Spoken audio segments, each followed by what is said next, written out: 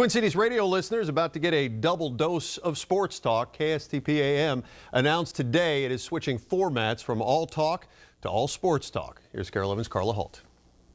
Longtime local sports pundit Patrick Reusse, it all came down to this. So we were kind of in no man's land. A station without an identity, some say KSTP AM suddenly needed to find one. And so, beginning Monday, it will switch to all sports all the time, eventually taking on the name 1500 ESPN Twin Cities. We're going to have the ESPN brand within 60 days, and uh, that is an extremely powerful uh, brand. Uh, in the sports world. They basically own the sports world. Along with the change in format, there's change in on air hosts. Reusse and Joe Soucheray will stick around, both of them now in the afternoons.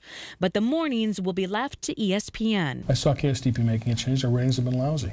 Clear Channel Operations Manager Greg Swedberg may have predicted the change, but at this point, he and others overseeing reigning sports king KFAN aren't worried. They don't plan on changing a thing. In fact, he says he's surprised KSTP is giving up on going local. But to give half your day up to a national format, it's not something we'd want to do on our, our sports station. But bottom line, with KSTP's arrival on the sports scene, the market now has four stations dabbling in sports. Time will tell. Carlson School of Management professor George John says with all the competition in political talk radio, there's no question KSTP needed to jump into a new format.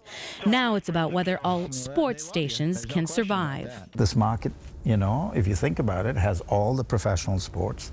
It has a Big Ten schools. so there's enough um, there's enough grist for the mill if you think if you think that way.